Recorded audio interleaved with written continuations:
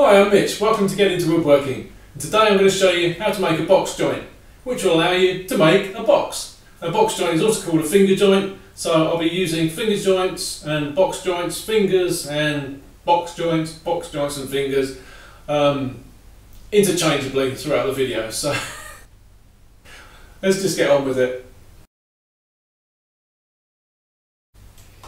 So what exactly is a box joint?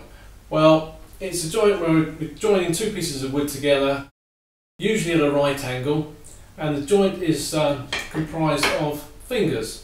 Each board has uh, fingers cut on the end of it, like so. Those fingers interlock with each other, you get long grain to long grain surface areas on there, so the glue joints are really nice and strong. From a design point of view, the most important thing I guess is how many pins you have in each joint. And if you have a, an even number of pins, then let's say four, I'll show it with my fingers, you're going to have a gap at the top of this board and a finger on the bottom, and the other board is going to start with a finger on top and a gap on the bottom. So I don't personally like that, so I go for an odd number of pins. So let's say three on this side, four on that side.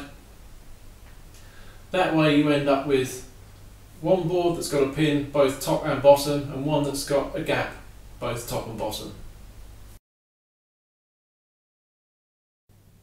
Now if you're going to make a box, it's a good idea to start with a board that's as long as two sides and two ends.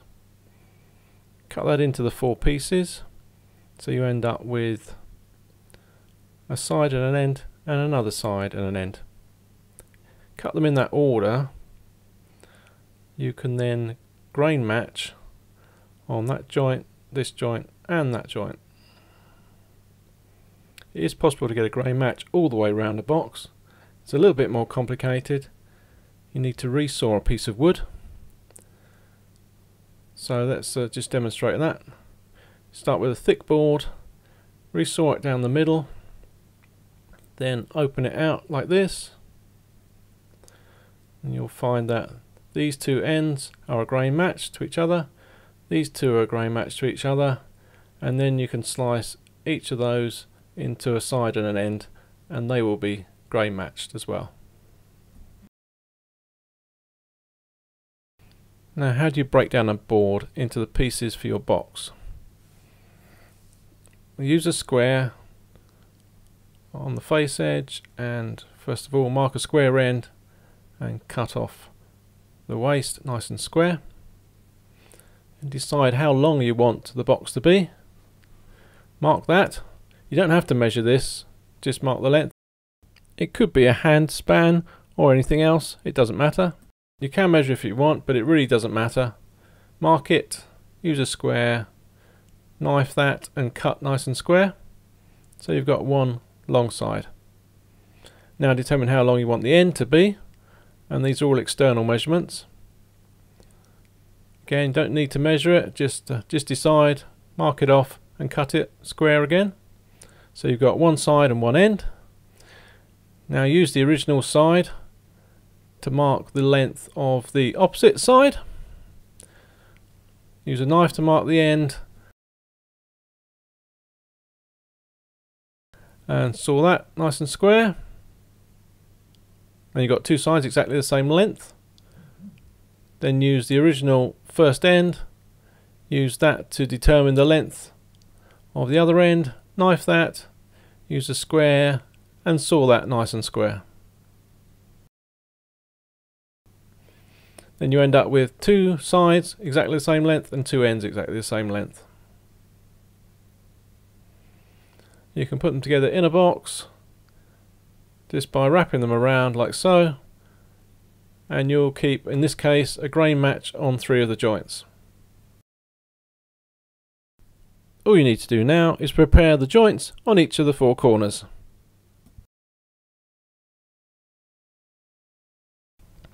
So I'm going to demonstrate making the finger joint using these two pieces.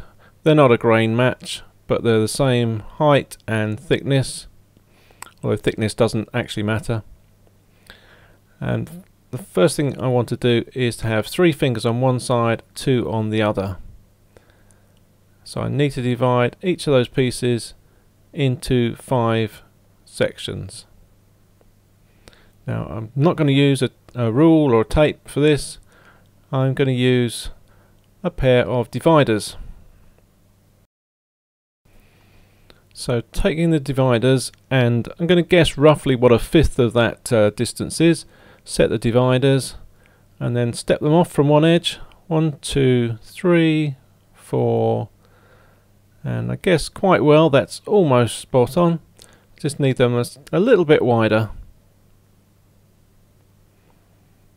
So having adjusted those, let's try again. One, two, three, four, five. That's virtually spot on now. That'll do.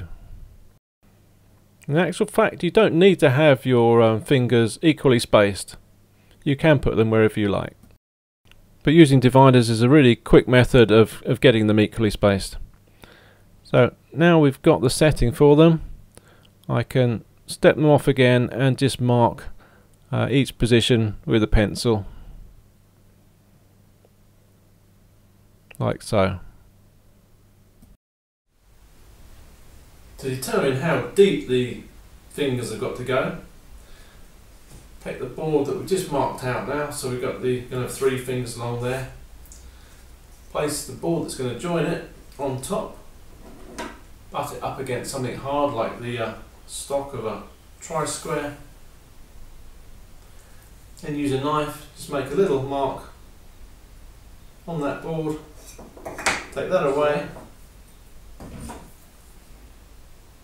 and transfer that point right across the board. That gives you the depth to which you need to cut the pins, the fingers. Transfer that all the way around.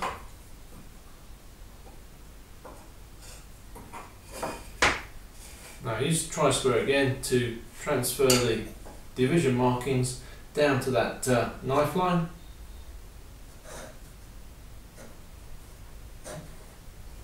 And also across the end of the board. And you'll find this a lot easier if you clamp the board in the vise.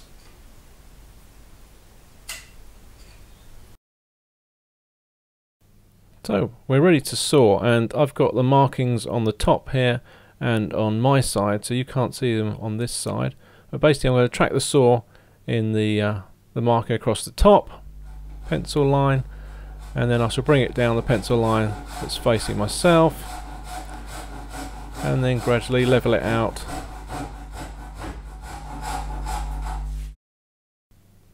cutting down to the knife line on both faces.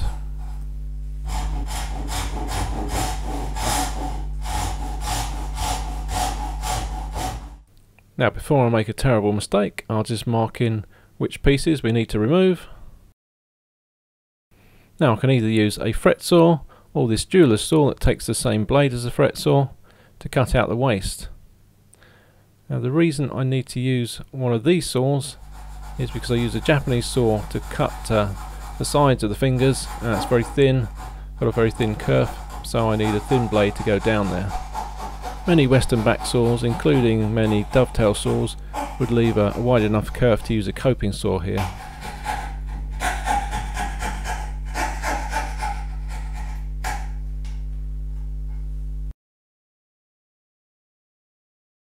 Now with a chisel slightly narrower than the waste we need to remove, I'll chop it and I'll gradually approach my knife line finally resting in the knife line and chopping for the final time before paring away the the corners that the chisel didn't quite reach because it's not quite wide enough.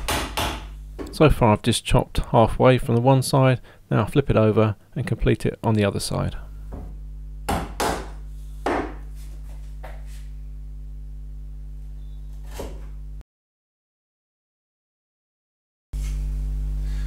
So with those fingers, pins, whatever you want to call them, nicely cut out, or at least the gaps cut out, I can use that now, lay it on the other piece, and use that to lay out exactly where I want to cut the second piece.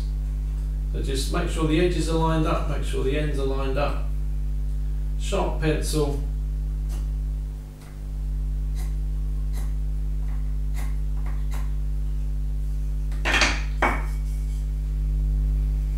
I square those marks now down the face, go back to the vise and cut those out.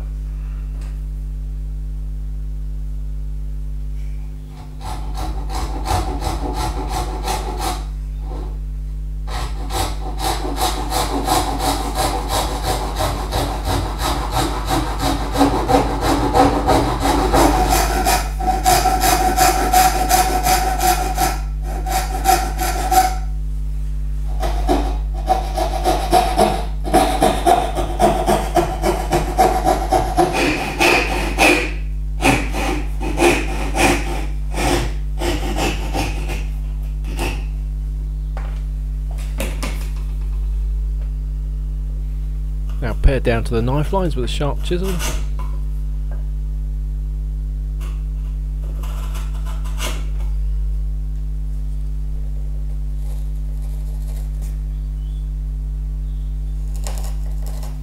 All's gone well, you should find that your two pieces go together and slide together. A little bit of friction, but not too much. When you put glue on, it's going to tighten things up, so you want to be able to put them together and take them apart without too much effort. The surfaces you want to get glue on are these long grain surfaces, so each side of each finger.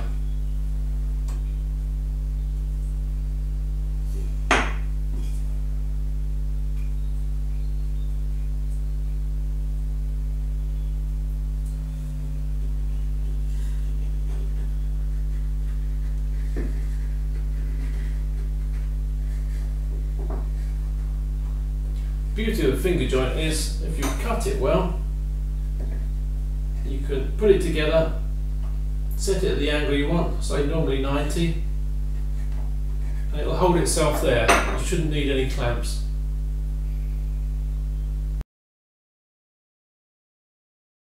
Now that's had a whole day to cure, so it's nice and strong.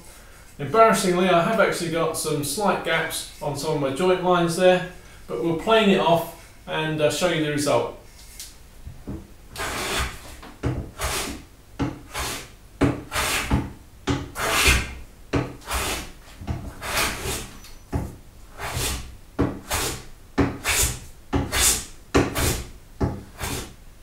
So you can probably see there's a very slight gap just here and also around that joint line.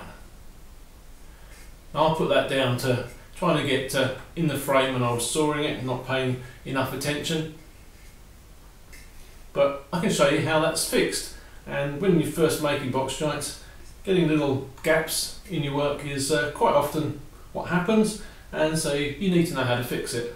So, how do we fix that? Well, I guess there are two ways really. The, the easiest way is if, if the gap's big enough, is just to cut a little shim of the same wood and glue that in.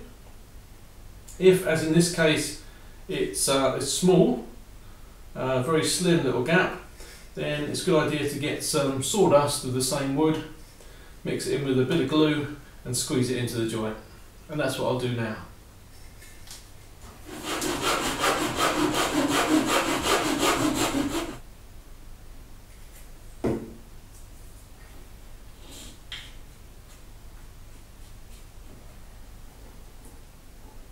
Just push that in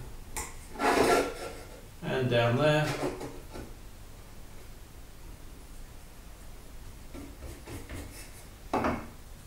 And we'll leave that for half an hour at least.